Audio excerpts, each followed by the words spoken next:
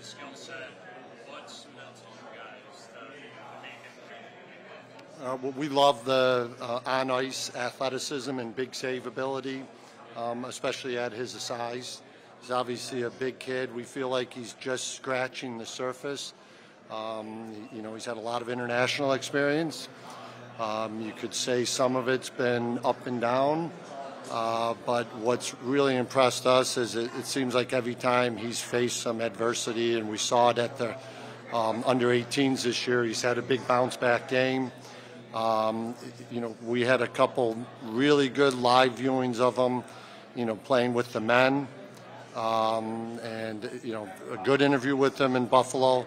Uh, we think he's an athletic kid um, and, and, just a lot of upside and a smart goalie. Um, and, and, and Seamus, you know, Kotyk, our development uh, coach, has some history working with the Finnish goalies. He's done a good job building relationships with all our goalies. And, uh, you know, the idea of having this guy in our hands on him for the next few years is really exciting for us. And, and I will add, there was a, a major gap on our list to the next goalie.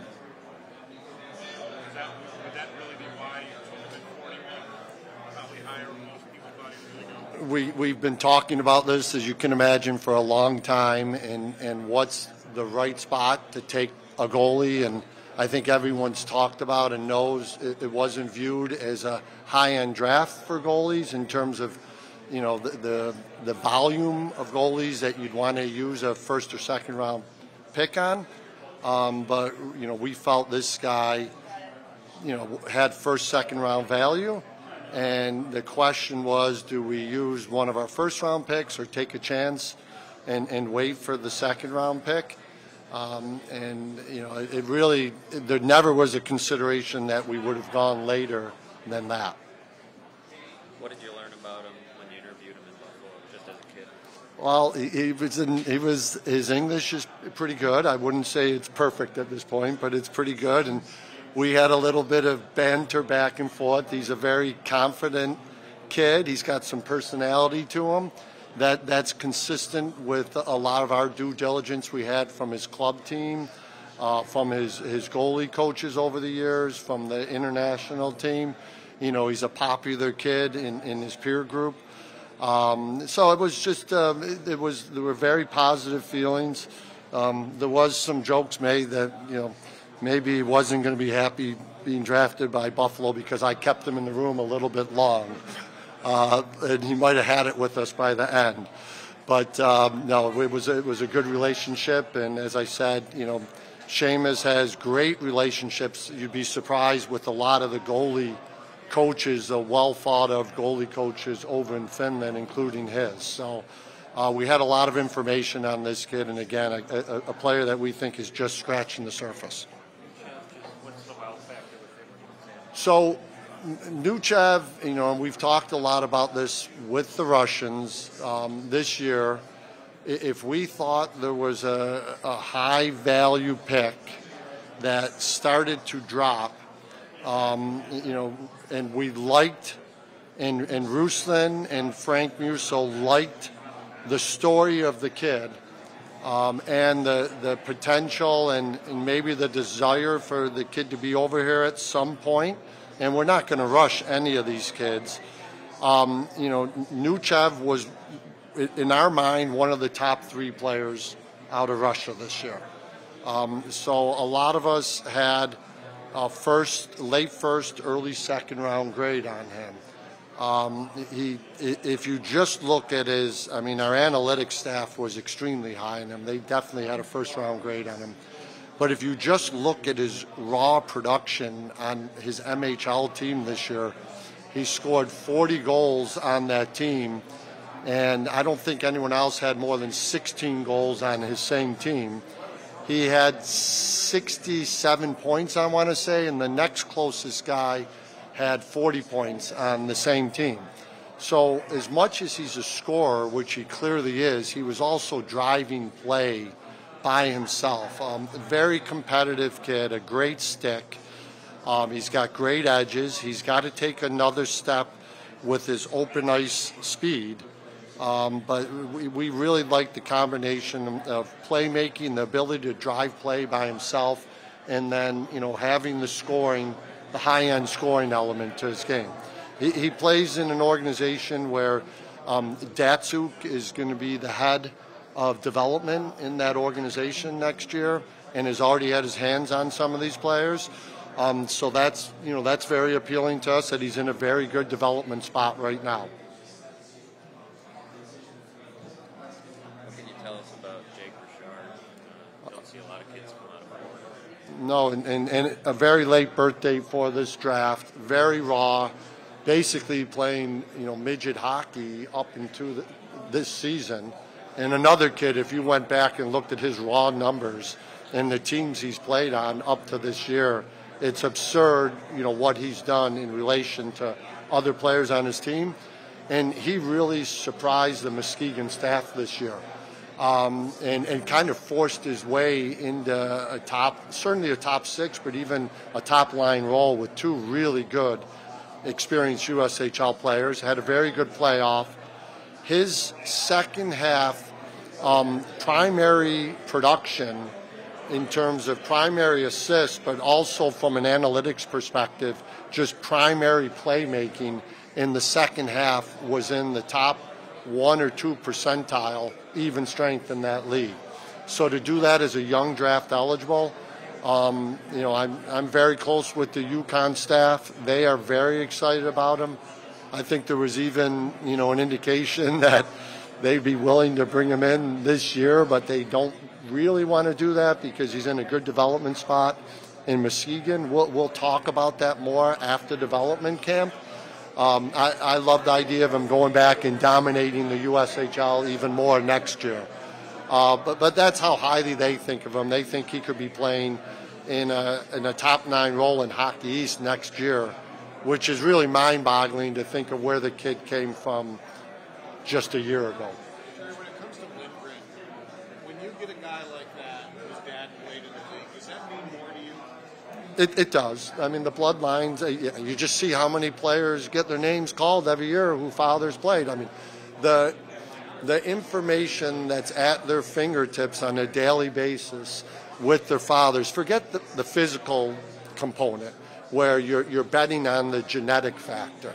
Um, just learning to be a pro, and, and this is what a lot about what this kid is about. He had a very good playoff. He plays a huge role on their team. Um, you know, obviously the size, just under 5'11", is not ideal. Um, you know, you'd probably prefer in a perfect world he was a right shot, not a left shot, but he's an excellent puck mover, and he's skilled enough that he can play his offside. The father played at six feet. We have some people in our organization and on our staff that know the father very well. Um, so the hope would be he gets to six feet. He, you know, he's certainly strong on his feet, and you know the sense and the puck skills are going to get him out of a lot of trouble that you know a six foot two guy might get himself into. Jerry, when uh, Bauer was here, he made it pretty clear he was big on players from Sweden. Kevin just said to us, you know, we love Sweden. I mean, how much, as Kevin took over, was, was he kind of sold on the benefits of getting Swedish players? Well, I think it it helps that from a person perspective, we're so high on all the players we have in our organization that are- from Sweden. I I think it helps that we've clearly gotten some high value picks out of Sweden in the past. You know, with Allmark and Olofsson. Um, you know, I've said this before. Anders Forsberg has been in the game of hockey and in the NHL for a long time. Uh, we all lean on him. Um, Jason Nightingale's got great experience from a development model perspective and some work he's done over the years uh, with the Frölunda program and other programs in Sweden. I have a fair amount of experience myself going back to even my college days with, you know, 15 or 20 Swedish players. And then, you know, our, our other scouts in Europe help us there too. And Kevin Devine has, you know, 25 years of experience in Sweden. So it's, it's, an area we're very comfortable with, and you know we like the development path. And and I'll, I'll add that the three programs or, or organizations, Örebro, uh, Frölunda and Rögle we think of the world of in terms of their development of players.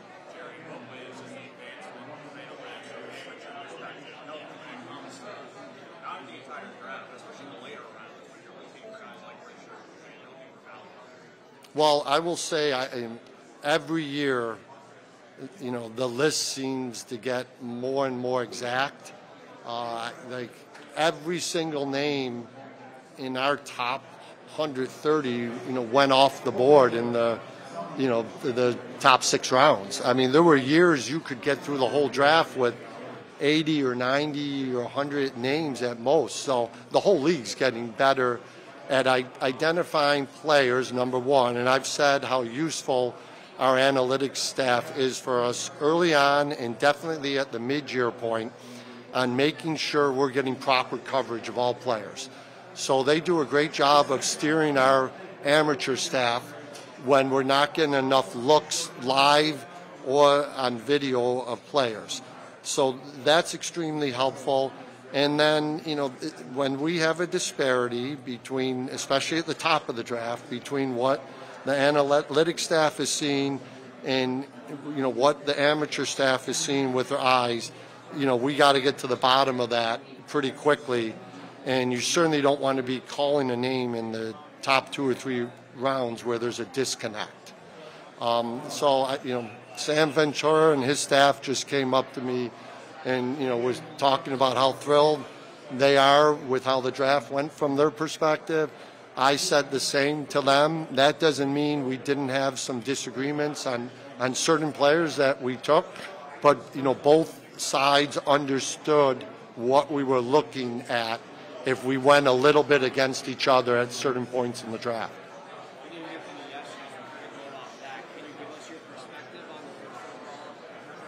Yep. Uh, and I, I'm sure I didn't listen to Kevin's um, press conference, but I would assume he touched on this with all three players. Um, more so with the first two. You know, I, I, I think I would probably expect people to initially say or talk about the lack of size with the top two players. And I don't think anyone would say that about Kulich because even though he's a little bit under six foot, he he's, plays bigger than that. He's very strong on his feet. He never seems to be small in any part of his game. But all three players, we have zero issue with the size because each player has in our mind um, elite compete and you know close to elite skating. So I, I get scared off, and we talk about skating size ratio in our organization overall, but especially on our in our amateur staff. Those are the guys that scare me off first of all. So if you can get past the hurdle where you have a smaller player and they have, um, you know, very good to exceptional skating, you know, you, you've ticked that off because I think that's almost always a necessity when you're drafting a small player at the top of the draft. And then if you can add to that um, the high compete dimension that Savoie and Östlund have, and Kulich for that matter, um, it, it, it, yeah, we want them to get a little bit bigger and stronger, but both of these guys are right now and will be in the NHL an absolute pain in the ass to play against. And, and you combine that with their skill and their hockey sense, the size doesn't become an issue to me anymore.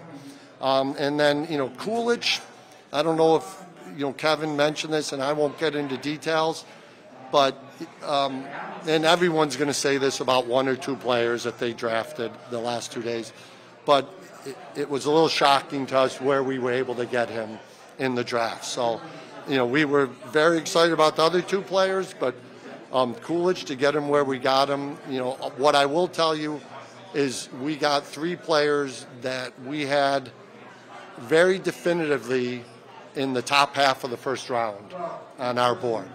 All three players told us um, they, they're centers, but they can also play wing and have also played. You know Don Granato, he talks about that a lot, having players that can do both. So did that matter when you were looking at those three guys too? For sure. And, and I think when you look at the international level and you look at these players playing in their men's league, So they're either playing at the top levels. Some of these guys, you know, like in Kulich's case, at an under 20 level as an 18 year old, and in, in Kulik, you know, and Östlund playing against men at as 18 year olds, and their coaches are playing them at center. That tells you a lot about the versatility of the player. It probably tells you a lot about their skating. It, it tells you something about their hockey sense and compete. Do we expect all three to be NHL centers? You know, probably not. I, you know, I, I will tell you, Östlund, you know, for sure has every single quality you would want in an NHL center other than size. And I just talked about the other attributes that I think will easily offset the size. And, you know, when he went up to the SHL this year in very limited minutes, I get that. They play him at center. You know, he he went to the under 18s. He played a couple games, 25 plus minutes at center at the under 18s on the gold medal team, and I don't know that we ever saw a drop off in his play. So, yeah, it's it's very encouraging when you see them playing at center, and then the versatility going forward of always knowing they can move back there if they don't come into your organization that way is comforting. Um, and you know, I think the coaches all value that. Kevin both mentioned compete with the first round picks. Where do you look for that?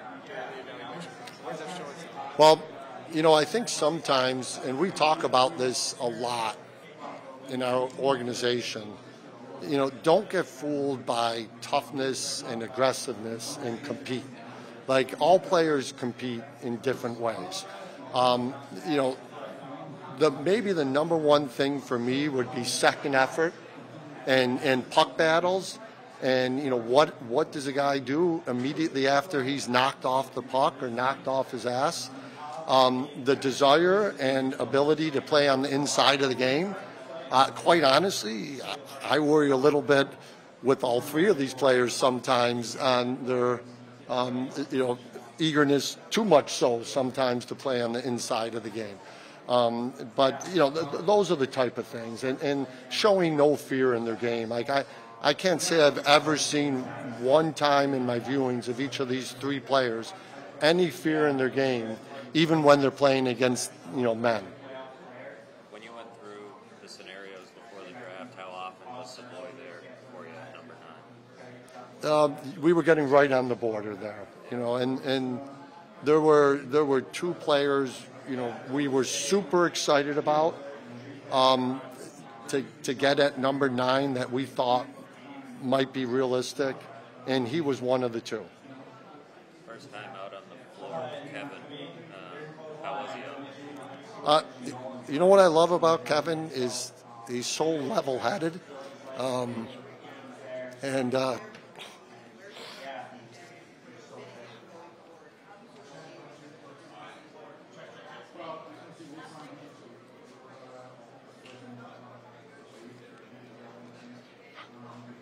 I'm sorry, guys.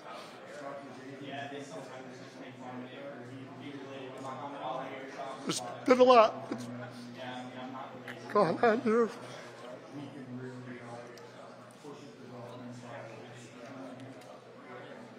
Oh, I'm good now. He includes everyone. He lets everyone do the jobs. And he's done an incredible job at bringing this entire organization together. And, I, you know, I've seen it firsthand. Uh, you know, we've obviously been through a lot, you know, minor for me, but the last month or so, but the whole organization's been through a lot since I've been here. And to see the coaches and the development staff and the Rochester staff and all our support staff and how everyone works together. Um, you know, to me, that all starts with the Pegulas and Kevin. So I apologize for that. That's you know, so. Um, but he was great. He was great on the floor, and he's always professional. And you know, he includes everyone. He's respectful, and he's got a lot on his plate, managing everything, and he does it, you know, with dignity and professionalism.